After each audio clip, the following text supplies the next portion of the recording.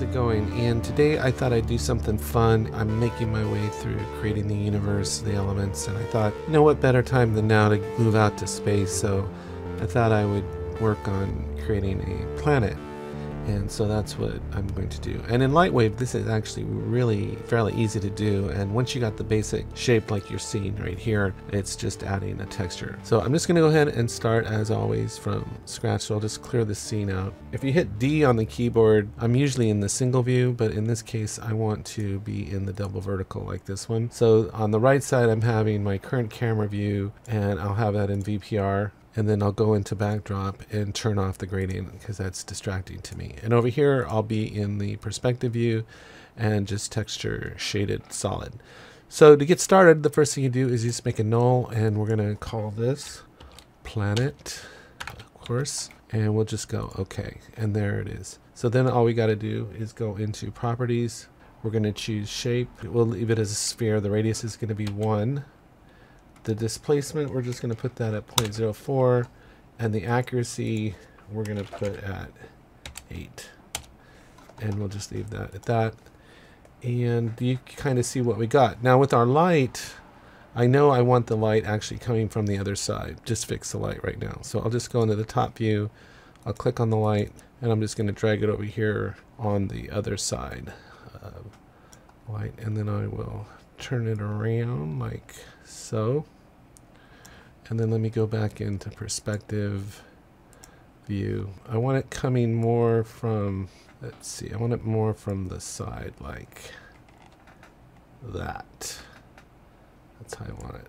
Yep. Always side lighting always seems to be the, the best way to go. Okay, and we see it, the, the light right there. All we have to do is just go into the surface editor and then just start playing around with some settings and things like that. Nothing too complicated. So in the surface editor, we're going to go into our edit node graph here. And as always, you know, which always seems to be the case, um, we want turbulence. turbulence, yep. Can't go wrong with turbulence, right? So we're going to click it once and double click it once and double click it twice. We want two of those. And this is where your creativity comes in there's a lot of other choices you have under here under the procedurals for textures. The one that I think works the best of all these, and you can try all of them, I think this hetero terrain is pretty good. So let's try that. Now once I got this, I'm going to blow this up. Can I resize this? Can I grab this? I'm trying to resize this a little bit. I'd like to kind of see planet at the same time I'm messing with the settings, so just trying to give myself a little more room here. There we go. Okie doke. Okay, so let me just scoot some stuff around here. And there's our one turbulence, and there's our hetero terrain. We'll put this one up here. We'll pull this down like this. We'll have this like this. Let's just do the turbulence first. So I don't know what color you want your planet to be. Red might not be a bad choice. So we can just click over here in the foreground color and pick a red. And of course, that's up to you completely, how red you want it. And then let's see, settings we're going to use. The 0.5 is fine. Can give this a little contrast. 25 frequencies, we can put 12. For scaling, whoops, I didn't mean to do that. For scaling, we can just type in 0.5. And again, you can adjust all these later. These are just settings that I've been playing around with. And so there's that. And it should look something like that. If that's a little too intense, maybe I'll maybe I'll come down a little bit on that. Hold on. Um, might drop the opacity a little bit on that too. Okay. And that's our first turbulence. And then our second turbulence, so I'm going to adjust all these first, and then I'm going to go in and hook everything up.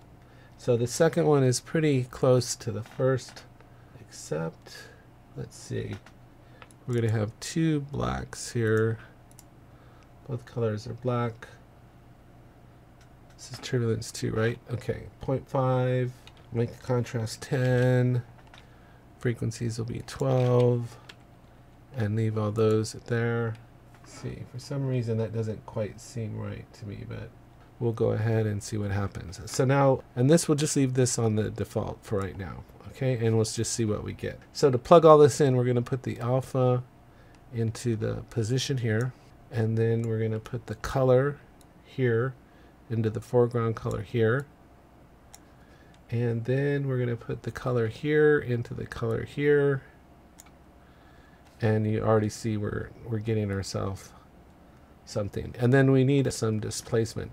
Now I can tell just by looking at it that it's pretty shiny and of course we don't want the planet that shiny of course. So although yeah we don't probably want it that. So let's see what happens with our displacement now. So we want to put the alpha here into the displacement there and then you really start getting that a lot of texturing. And now it also looks like we're getting a lot of crazy light coming in, but that's coming from the specular. So let's just go ahead and let's kill that and let's get rid of this specular because we definitely don't want a shiny a shiny planet. And I think right there you really got something that looks really cool. Like it looks like a planet that could have had water on it at one time. It's just a nice texture. So I would just encourage you at this point to go in here and just play around with the settings to see what you like and what you don't like and what you're getting and all that stuff like that. But that's basically our planet. Now, one thing I did find as I was playing around with this that I liked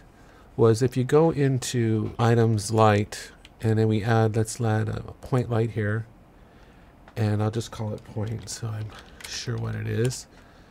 And that's right now it's in the center of the planet. If we go into light properties, let me see something here. I, I um, always have to refer to notes with Lightwave. I have a big old binder with stuff in it because there's there's just so much uh, to know. Let me see what I have for my point light here under properties.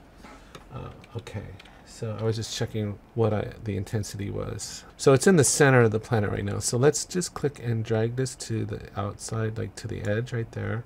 And then let's really crank this up. Let's uh, let's go 25. Now we should be able to drag it more this way. Oh, see, there. now I'm going to show you, it looks a little crazy right now, I realize that. Let me, you can drag it almost to inside of the planet, but I want to show you what you can do with this. It adds a real nice, now that might be a little too much light. Let me look at this from the top view and see what I got here. Yeah, I'm not even on the planet there, so get like right there. Okay, somewhere maybe like you want to center the light where maybe there's a a patch of land or something. So let me go back into perspective. You see this little patch of land right there? That's kind of where I was hoping to be. Okay, so let me back off this light. Now it's obviously way too bright at that. Too, too, that's too much. So let's bring it down to just 10. And then let's do this. Instead of white, let's change the color to another form of red and see what happens. See that? But maybe that's not, that's still too bright. So let's bring it down quite a bit here. I'll bring it back down quite a bit. And then let's just play around. I'm just trying to, let's forget the red and let's try yellow. Yeah, I like, I like that a little bit better. But I'm, I can see right now I'm really going to have to bring this down. And maybe I'm going to have to, let me go into the top view again.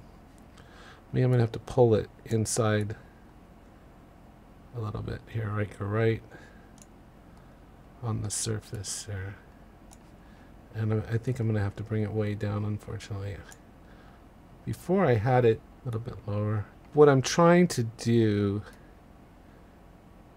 is just add a little something extra there. Oh, you know where I should put this now that I'm looking at this? See this little landmass over there? I think it looked better over there. So let me let me drag it over there. See now I've I've completely got it out of view here. So let me I must have it in. I'm gonna have it too far back. Let's see here. I'm gonna go this side. There it is. See that's I think if I come down now. Is it coming down? I'm going in, that's why. You just gotta play around with this to get it in the right spot. Now I could probably bump it up in brightness. But you see what it's doing? It's actually looks like it's a little bit beneath the surface. So if you, I guess long story short, you can play around with your point light and add a couple more on here and really create an interesting look. Like if you don't like that color, let me go back and change that. Maybe maybe I should go back to that red I had originally. Something like that. Well, you get the idea. You can, uh, that doesn't look quite right to me. Let me just playing around with it to try to get a something that really adds some contrast because you got this area of higher light, different color. You could just really make something that's kind of unique, I think. I think I'll just go, I'm going to go with my yellow. Maybe a lighter yellow. Let me try that. Yeah, I like that. I really do like that. Okay. And that's how you create a planet. it's just a lot of playing around and tweaking. And I think that hetero terrain really does a good job. Now, we should be able to, if I'm on the planet, if I, let me come over here and go to 240, 240 frames, make it a little bit longer. And I drag this to the end I should be able to give this thing, I mean, you don't want it spinning too much. I mean, it, it would be unrealistic. If I go to rotation, I should be able to just turn it a little bit here. Maybe just like a degree or two. I don't know how much degrees would be realistic. Not too much, obviously, right? But just maybe 10 degrees, something like that. Just a little bit of turn. And that's all there is to it.